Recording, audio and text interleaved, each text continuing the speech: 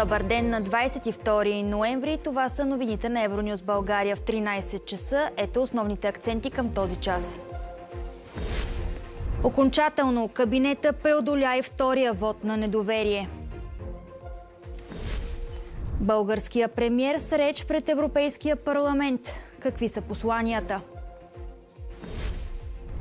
Израел и Хамас се споразумяха за 4-дневно прекратяване на огъня и освобождаване на заложници. Нидерландия избира нов парламент. Страната ще има нов министър-председател за пръв път от повече от десетилетие. От трети опит депутатите окончателно отхвърлиха втория вод на недоверие към правителството начало с Николай Денков.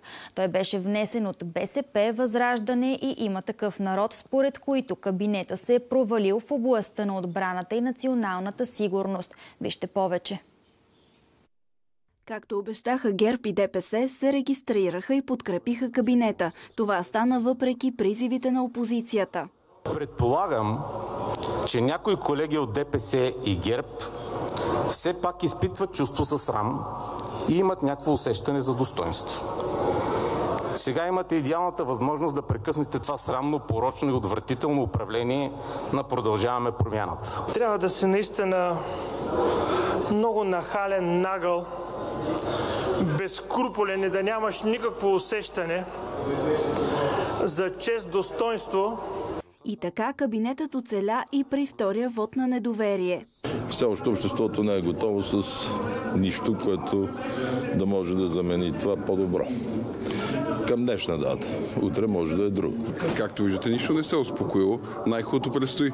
Но отношенията между управляващите партньори стават напрегнати, разкри председателя на ДПС Делян Пеевски. Причината – искането на Продължаваме промяната да се създаде временна комисия, която да разследва Имало ли е полицейско насилие по време на футболните протести в София миналата седмица? Комисията, която ще внася ППДБ, ние няма да я подкрепиме. Пак го казвам, твърдо седиме зад момчетата. Трябва да има държа, или ще има, или няма да има държа. Това, което правят на господин Петков му казва на председателски съвет, като искат да закрият полиция, да внасят проекто закон. Защото те явно това искат. ГЕРБ ще подкрепят създаването на комисията, обяви Борисов. Нека да има анкетни комисии, нека да бъдат разгледани всички факти и обстоятелства. Аз не мога да защита полицай, който рита паднал човек. Но не мога да се съгласа да се сменя министър, защото не угажда за партийни назначения. Лидерът на ГЕРБ прогнозира, че управлението ще е стабилно поне до средата на декември, заради промяната на Конституцията. И истинските трусове ще са по време на предстоящата ротация. България полага всички усилия, за да може през декември да има решение за присъединяване на страната към шенгенското пространство. Това заяви премиера Николай Денков пред членовете на Европейския парламент в Страсбург. Речта му е част от дебата «Това е Европа», в който за първи път участва български премиер. Преди изказването си в пленарната зала Денков се срещна с председателя на Европейския парламент Роберта Мецола, а след това предстои дебат с лидерите на политическите групи и с отделни депутати. В най-новата си история България е била обект на непрекъснати опити за доминация. Част от тях успешни от страна на Руската империя и на Съветския съюз. За съжаление, тези великоруски апетити продължават и в наши дни и страната ни е обект на целенасочени хибридни атаки.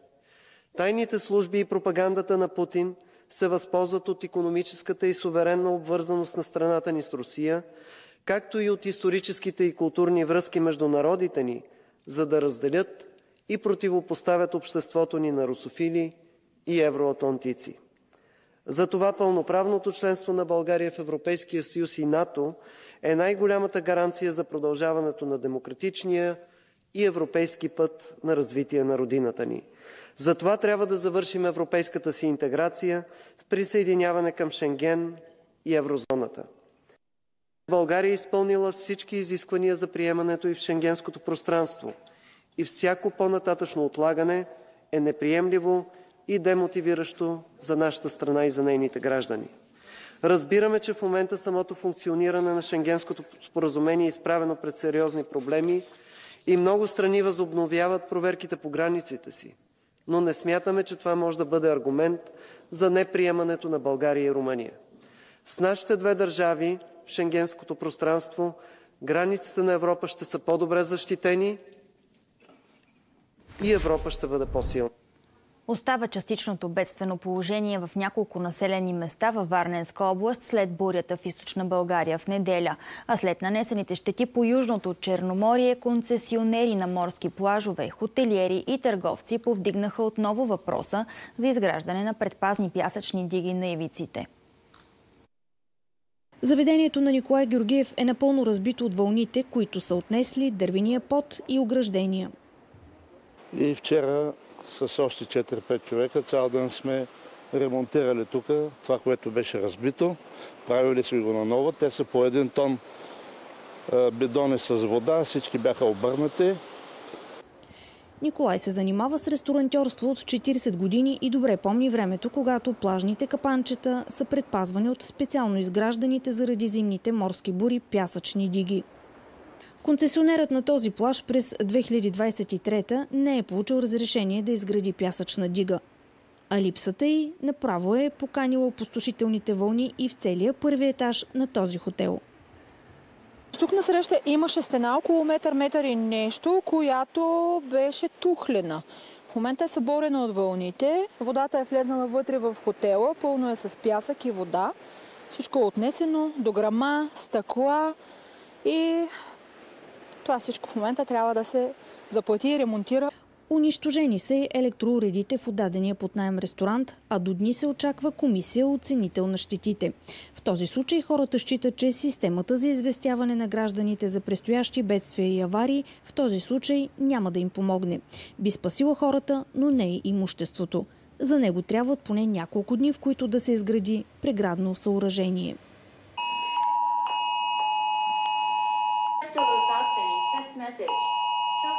Ако е по-рано, би могла до някъде да помогне. Но когато става въпрос за бедствие от такъв мащаб, ако няма направени предварителни действия, не мисля, че може да бъде ефективна. Сред недоволните от липсата на пясъчни предпазни диги, освен концесионери, са и собственици на сърф клубове, капанчета на юг от Созопол, Приморско, Лозенец и Синеморец. Знам, че има заповед от областен управител, която не съм много сигурен, че на 100% е законосъобразна. Тоест, ти първо ще я разгледам внимателно, но дори съм сигурен, че има юридически вече прецедент, в който съда е постановил, че тези дюни не са незаконосъобразни, макар и не конкретно с тази заповед. Но държа да отбележа, че тук основно правомощият са на Министерство на туризма. Казусът се оказва парадоксален за концесионерите, които са спирани да изграждат пясъчни диги, а в същото време носят административна отговорност и търпят глоби заради неопазване на пясъчната ивица. Към новините от света. Израел се съгласи на временно примирие с Хамас в Газа, по време на което ще бъдат освободени най-малко 50 заложници, държани от екстремистите в палестинския анклав.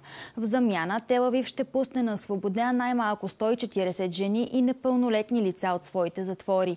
Споразумението, което беше подкрепено от израелския кабинет, включва и доставки на хуманитарни помощи в ивицата Газа, включително гориво. Израелското правителство прие споразумение за спиране на огъня в ивицата Газа, което включва размяна на заложници за палестински затворници. Мнозинството от кабинета гласува в полза на сделката с ислямистката групировка Хамас, съобщи канцеларията на премиера Бенямин Нетаняхо.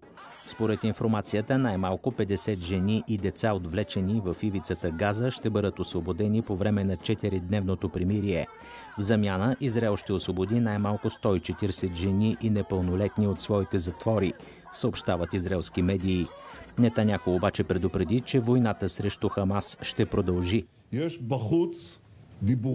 Навън се носят приказки, че едва ли не след примирието за връщането на нашите заложници ще спрем войната. Бих искал да стане ясно. Ние сме във война и ще продължим войната, докато не постигнем всичките си цели. Елиминираме Хамас и върнем у дома всички наши отвлечени и изчезнали граждани.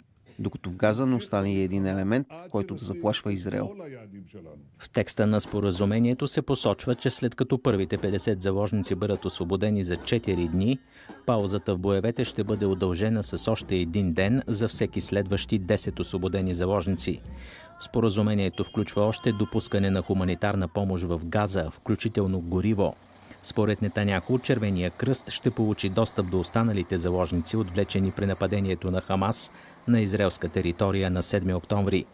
Освобождаването на заложниците ще започне приблизително 24 часа след като сделката бъде одобрена от всички страни, заяви високопоставен служител на Белия дом, говорил пред Associated Press при условие за анонимност. Споразумението включва трима американски граждани, включително тригодишно дете, съобщи Reuters, като цитира високопоставен служител на Белия дом. На по-ранен брифинг главният военен говорител на израелската армия Даниел Хагари заяви, че военните ще знаят как да поддържат военните си постижения в Газа, докато се подготвят за следващите етапи на войната. Израелските войски са обкръжили изцяло беженският лагер Джабалия и са засилили бълните действия в Зейтун. Шарл Мишел заяви категорична подкрепа за започване на официални разговори за членство в Европейския съюз на Украина и Молдова. Председателя на Европейския съвет беше в Киев, за да отбележи 10-та годишнина от възстанието на Майдана, довело до свалянето от власт на Виктор Янукович. Украинският президент Зеленски заяви, че страната му е извървяла значителна част от пътя си към Европейския съюз и очаква положително решение през декември. Председателя на Европейския съвет обеща да направи всичко възможно, за да получи Украина официална покана за започване на преговори за членство в Европейския съюз през декември. Шаро Мишел беше на посещение в Киев, където разговаря с президентите на Украина и Молдова относно техните молби за присъединяване. Разширяването е стратегическа инвестиция за Европейския съюз. Тя е в полза на мира, просперитета и демократичните ценности. Възнамерявам да направя всичко възможно, за да убедя моите 27 колеги, че се нуждаем от положително решение през декември. Президента на Украина заяви, че страната му не очаква подаръци и ще направи всичко възможно да изпълни всички условия и препоръки за започването на преговорите. Както казах, не очакваме подаръци, но искам да обърнете внимание, че ние сме държава във война и за нас решението през декември е мотивационно решение за мобилизация. Вярвам, че това решение помага на Украина да повярва, че е имало и има справедливост. Искам да вярвам, че това, че украинците защитават общи ценности, не са празни думи, но има конкретни решения, седем препоръки, които ние трябва да изпълняваме, колкото и да ни е трудно.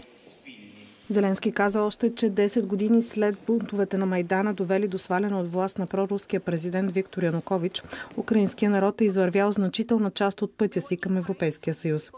Очаква се лидерите на 27-те да решат дали да одобрят предложенията на Европейската комисия за започване на официални преговори за присъединяване с Украина и Молдова на срещата си на върха в Брюксел на 14 и 15 декември. Няма гаранции обаче, че ще бъде постигнато единодушно съгласие. Унгария и Словакия са критично настроени по отношение на кандидатурата на Украина. Гласоподавателите в Нидерландия се насочват към секциите днес, като за участие в парламента се борят 26 партии. За пръв път от десетилетие страната ще има нов премьер, след като Марк Рюте подаде оставка през юли. Основните теми в предизборната кампания бяха свързани основно с вътрешната политика в страната. В Нидерландия се провеждат избори за нов парламент. Водът е предсрочен, след като разногласия за миграционната политика на страната скараха партньорите в коалицията и премиерът Марк Рюте подаде оставка след 13 години на поста. Сега неговата Народна партия за свобода и демокрация издига Дилания Шилгиос, която има шанс да стане първата жена премиер на Нидерландия. Въпреки, че идва от семейство на мигранти, самата тя се обявява против миграцията. Вълнувам се, но всичко зависи от избирателите. Днес е много важен ден. Не става въпрос за моя пост, а за проблемите на нидерландския народ и как ще можем да ги разрешим. На второ място социолозите поставят Питер Омцик, който напусна до сегашната си партия и създаде нова, която бързо набра популярност. Той настоява за по-голяма социална сигурност и по-слаба интеграция в Европейския съюз. Омцик участваше в разкриването на скандала с детските надбавки, при който данъчните служби погрешно принудиха родители да върнат на държавата десетки хиляди евро. Търсим тясно сътрудничество с европейските ни партньори, но има две неща, които са ясни. Първото е, че сме твърдо против общия дълг към Европа. Въпреки това ще направим всичко възможно да постигнем съгласие поне по общите политики. Според прогнозите, партията на труда и Зелената левица ще заеме третото място. Порано нейният лидер Франс Тимерманс подаде оставка като заместник-председател на Европейската комисия, отговорен за зелената сделка. Искам Европейската зелена сделка да бъде тълкувана и като нидерландска зелена сделка. На първо място да озеленим нашите градове и села. Второ, да постигнем баланс между възстановяването на природата и селското стопанство. И трето, да направим промишлената ни индустрия по-устойчива. Рекордните 26 партии са вписани в бюлетината. Кандидатите наблегнаха на три основни теми по време на кампанията – интеграцията, стандарта на живот и климатичните промени. Полша ще получи скоро първия транш от плана за развитие и устойчивост. Анализатори обвързват решението на Европейската комисия с очакваното ново правителство във Варшава, начало на което ще застане Доналд Туск. До сега Централна европейската държава имаше големи спорове с комисията заради противоречива съдебна реформа и подкопаване на принципите на демокрацията. След месеци на безисходица Европейската комисия даде зелена светлина за първия транш за Полша от Фонда за възстановяване от пандемията на стойност 5 милиарда и 100 милиона евро.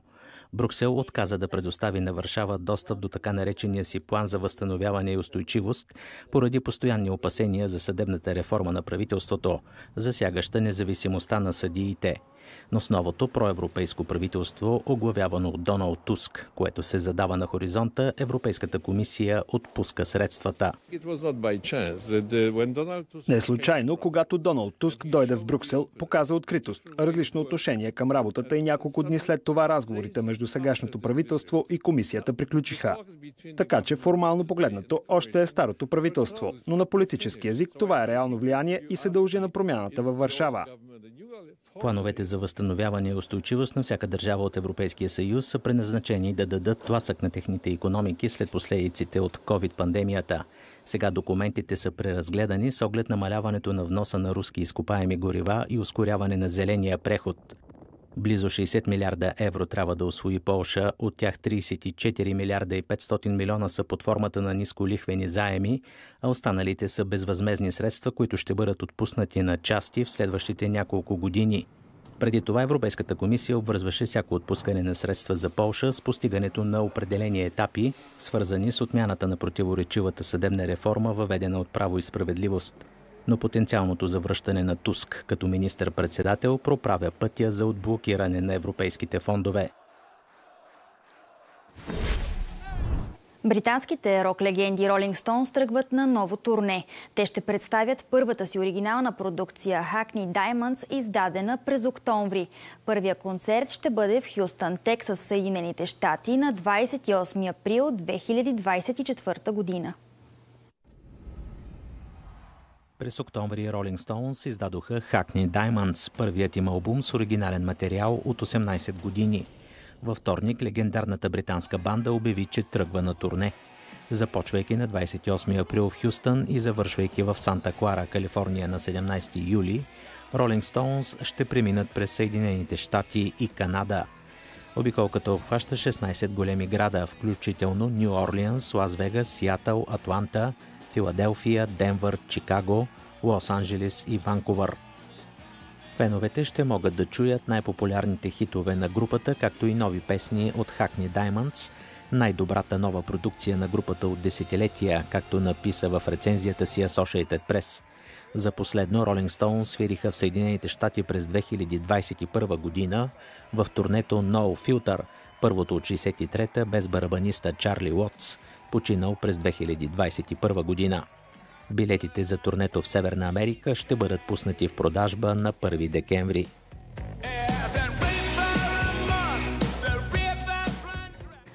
С тази новина се разделяме следващата ни емисия в 15 часа. Спокоен след обед.